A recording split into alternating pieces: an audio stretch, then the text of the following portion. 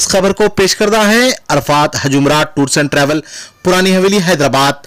نظام caters event organiser catering کی دنیا کا وہ نام جو ہر گھر کی خوشیوں کا ایک حصہ السلام علیکم ناظرین میں محمد خلیل الزما آپ تمام کا ایم کے نیوز میں خیر مقدم کرتا ہوں۔